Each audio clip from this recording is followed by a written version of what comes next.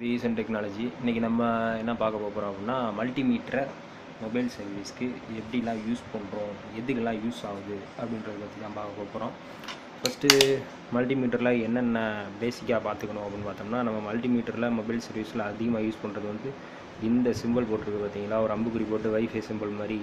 So இந்த beep symbol போட்டிருக்கிற பக்கம் வச்சு தான் அதிகமாக யூஸ் பண்ணுவோம். இதில் மூணு இருக்குது டிஸ்பிளே இருக்கும் இந்த அட்ஜஸ்டபுள் இருக்கும். அப்புறம் அந்த போர்ட் இருக்கும். இந்த போர்ட்டில் எப்படி மாற்றுறது அப்படின்னு பார்த்தீங்கன்னா இந்த சென்டரில் இருக்க பிளாக் சிஓஎம் போட்டிருக்கல காமன் இந்த காமன் அப்படின்றதுல தான் பிளாக் மாட்டணும்.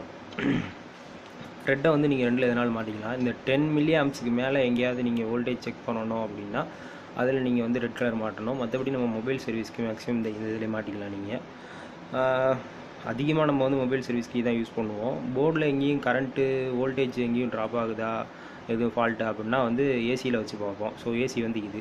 இந்த வி போட்டு ஒரு அனலாக் சிம்பிள் போட்டிருக்குல்ல. ஸோ இந்த சிம்பிள் வந்து வோல்டேஜ் செக் பண்ணுறது for AC AC current check பண்ணுறது மேலே வி போட்டு லைன் போட்டிருக்கல பார் போட்டிருக்கல இது வந்து டிசி கரண்ட் செக் பண்ணுறது இது வந்து ஓம் செக் பண்ணுறது ஓம் வந்து நம்ம எதுக்கு யூஸ் பண்ணி பார்ப்போம் அப்படின்னா ரெசிஸ்டருக்கு தான் ஓம் அதிகமாக செக் பண்ணி பார்ப்போம். ஸோ நம்ம மொபைல் சர்வீஸில் அதிகமாக ரெசிஸ்டர் கெப்பாசிட்டர் கெப்பாசிட்டர் தான் அதிகமாக மாற்றுவோம் ரெசிஸ்டர் அவ்வளோவா சேஞ்ச் பண்ண மாட்டோம். ஸோ அதனால் இந்த சைடு ஓம் சைடு நீங்கள் யூஸ் பண்ணுறது வந்து ரொம்ப கம்மியாக தான் இருக்கும். இப்போது என்கிட்ட செக் பண்ணி காட்டுறதுக்கு காமன்ட் எதுவும் இல்லை. ஸோ அதனால் என்னால் முடிஞ்ச அளவுக்கு எக்ஸ்பிளைன் பண்ண பார்க்குறேன் ஸோ இப்போ நம்ம காம்பனண்ட் நம்மக்கிட்ட எதுவும் இல்லை அதனால் நம்ம வந்து ஒரு உருளைக்கிழங்கு எடுத்துக்கிறோம் இதை எடுத்துகிட்டு இதில் வோல்டேஜ் எந்த அளவுக்கு காட்டுது அப்படிங்கிறத மட்டும் ஒரு தடவை ரீடிங் மட்டும் பார்த்துக்குறோம் உருளைக்கிழங்குலேருந்து அதுக்கப்புறமா மல்டிமீட்டரில் என்னென்ன காம்பனண்ட் வச்சு என்னென்ன பண்ணலாம் அப்படின்றத ஒரு தியரிட்டிக்கலாக சொல்லித்தரேன்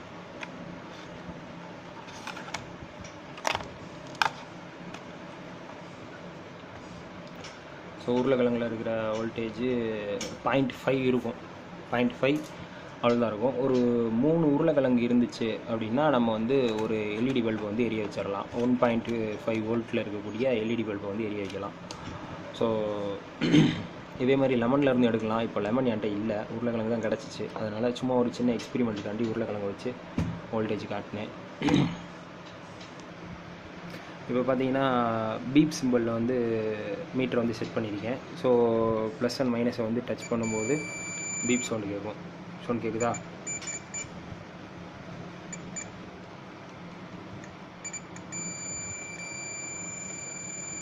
இது ரெண்டையும் டச் பண்ணும்போது பீப் சவுண்டு கேட்கும். இது நம்ம எதுக்காண்டி பீப் சவுண்டு யூஸ் பண்ணுவோம் அப்படின்னு பார்த்தா இதுதான் அதிகமாக நம்ம சர்வீஸில் யூஸ் பண்ணுவோம்.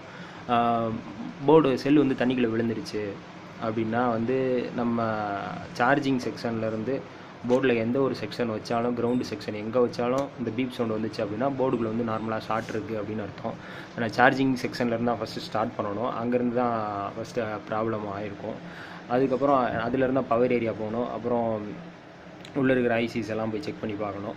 ஸோ எங்கே செக் பண்ணி பார்த்தாலும் இந்த மாதிரி பீப் சவுண்ட் கேட்டுச்சு அப்படின்னா ஃபோன் வந்து ஷார்ட் ஆகிருக்கு அப்படின்னு அர்த்தம். ஃபோன் ஷார்ட் ஆகிருக்கு அப்படின்னா நான் முன்னவே சொன்ன மாதிரி கெப்பாசிட்டர் தான் வந்து ஃபஸ்ட்டு அடி ஆகும்.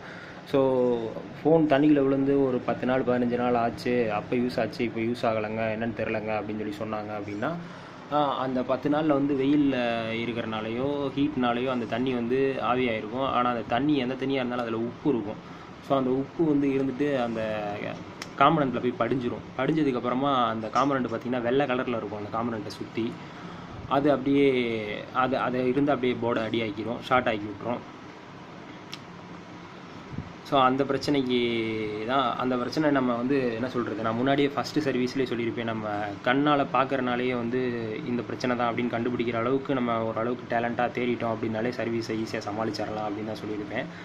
அந்த மாதிரி ஒயிட் கலராக இருக்குது அப்படின்னும் போது நீங்கள் பார்த்தீங்க அப்படின்னாலே தெரியும். ஒரு பைப் லைனில் வந்து வீட்டில் யூஸ் பண்ணுற டேப்பில் வந்து தண்ணி படிஞ்சு படிஞ்சு எப்படி உப்பு பறிஞ்சு வெள்ளை கலரில் இருக்குமோ அதே மாதிரி தண்ணியில் விழுந்த செல்லு வந்து ஒரு பத்து நாளோ ஒரு மாதமோ கழித்து ஒர்க் ஆகலன்னு கொடுத்தாங்கன்னா பிரித்து பார்த்தீங்க அப்படின்னா அங்கங்கே வெள்ளை வெள்ளை திட்டு திட்டாக இருக்கும்.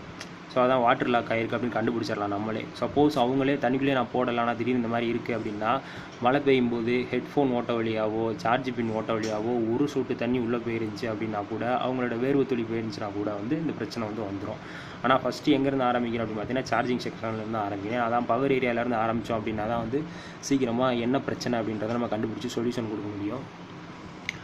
ஸோ இதுதான் வந்து ஃபஸ்ட்டு இது வந்து ரெண்டாவதாக கண்டுபிடிச்ச மல்டிமீட்ரு ஃபஸ்ட்டு கண்டுபிடிச்ச மல்டிமீட்டர் இந்த இருக்குது ஸோ இதான் வந்து வேர்ல்டுலேயே ஃபஸ்ட்டாக கண்டுபிடிச்ச மல்டிமீட்ரு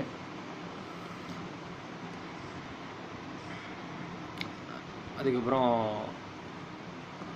ரெண்டாவது அந்த மல்டிமீட்ரு இந்த இருக்குது இதில் பார்த்தீங்கன்னா தனியாக ஏசிக்கு தனியாக டிசி தனியாக கொடுத்துருப்பாங்க. ஸோ இந்த சிம்பிளை ஞாபகம் வச்சுக்கிட்டீங்க அப்படின்னா இந்த பார் மாதிரி கோடு போட்டிருக்கிற சிம்பிள் வந்து டிசி வோல்டேஜ் அனலாக் சிம்பிள் போட்டிருக்கிறது வந்து ஏசி வோல்டேஜ் இதே நம்ம நார்மல் மல்டிமீட்டரில் இருக்கும். நம்ம ஏசி வோல்டேஜ் வச்சு வந்து ரெசிஸ்டருக்குள்ளேயும் கெப்பாசிட்டருக்குள்ளேயும் ஐசிக்குள்ளேயும் எத்தனை வோல்டேஜ் போயிட்டுருக்கு அப்படின்றதான் பார்ப்போம். நமக்கு மேக்ஸிமம் வந்து இப்போ அஞ்சு வோல்டேஜ் தான் ஃபோனுக்குள்ளே வந்து சுற்றிட்டு இருக்கணும். அதுக்கு மேலே சுற்றிச்சு அப்படின்னா வந்து காம்பனண்ட்டை தான் அடி ஆகிடும் இது நார்மல் மல்டிமீட்ரு நூற்றி எண்பது ரூபா நூற்றி ஐம்பது ரூபாய்க்கு கிடைக்கும். ஸோ இந்த மல்டிமீட்டரில் நம்ம இந்த மல்டிமீட்டரில் வந்து என்ன ஒரு ப்ளஸ் இருக்கும் அப்படின்னு பார்த்தீங்கன்னா டிரான்ஸ்மீட்டர் வந்து பிஎன்பி டிரான்சிஸ்டர் அதை வந்து இதில் நம்ம செக் பண்ணி பார்க்கலாம் டிரான்சிஸ்டரை ஸோ இந்த இடத்துல ஜூமிங்கில் பார்த்தீங்கன்னா உங்களுக்கு ஓரளவுக்கு தெரியும். நல்லா தெரியாதுன்னு நினைக்கிறேன். இது என்கிட்ட கடையில் கிடக்கு இங்கே இல்லை. இதில் பார்த்தீங்கன்னா இந்த ஹோல் இருக்குல்ல இந்த இடத்துல இந்த இங்கே கொடுத்துருப்பாங்க பாருங்க. என்பிஎன் டிரான்சிஸ்டர் பிஎன்பி டிரான்சிஸ்டர் மூணு இருக்கும். ஸோ இதில் பேஸ் எமீட்டர் கலெக்டர்னு இருக்கும். அந்த மூணு பின் இருக்கும். அந்த மூணு பின்னை வந்து இந்த ஹோல்லையும் இந்த ஹோல்லையும் இந்த ஹோல்லையும் அந்த அந்த போட்டிருக்கிற லெட்டருக்கு நேராக மாட்டிகிட்டே செக் பண்ணி பார்த்தோம் அப்படின்னா மேலே வந்து ரீடிங் காட்டும். அது ஒர்க்கிங்கில் இருக்கா இல்லையா அப்படின்றத காட்டிடும் இந்த மல்டிமீட்ரு. மேக்ஸிமம் இந்த மல்டிமீட்டரே நீங்கள் யூஸ் பண்ணலாம். வேறு ஒன்றும் பெருசாக வாங்கிலாம் யூஸ் பண்ண வேண்டியதில்லை. நான் யூஸ் பண்ண மல்டிமீட்டர் வந்து பெங்களூரில் வாங்கினது டூ ஃபிஃப்டி ருபீஸு இங்கே வாங்கினது நான் ஆனால் அதிகமாக கடையில் இந்த மல்டிமீட்டரை யூஸ் பண்ணுவேன். நல்லாயிருக்கும் வேலை பார்க்குறதுக்கு. ஸோ இந்த மல்டிமீட்டரை யூஸ் பண்ணுங்கள் நம்ம அதிகமாக யூஸ் பண்ண போகிறது பீப்பு அப்புறம் வந்து வோல்டேஜ் செக் பண்ணி பார்ப்போம். வேறு டிசியில் அவ்வளோவா செக் பண்ணி பார்க்க போகிறது எலக்ட்ரிக்கல் லைனில் வேலை பார்க்குறவங்களுக்கு இதில் இருக்கிற எல்லாமே தேவைப்படும். டிரான்சிஸ்டர் செக் பண்ணி பார்ப்பாங்க எல்இடி செக் பண்ணி பார்ப்பாங்க. பேட்ரி செக் பண்ணி பார்ப்பாங்க டிசி கரண்ட் ஏசி கரண்ட் ரெண்டுமே செக் பண்ணி பார்ப்பாங்க. நமக்கு வந்து அதிகமாக யூஸ் ஆகிறது வந்து மொபைல் சர்வீஸில் பார்த்தீங்கன்னா பீப் செக்ஷனும் வோல்டேஜ் செக்ஷனும் தான் அதிகமாக யூஸ் ஆகும்.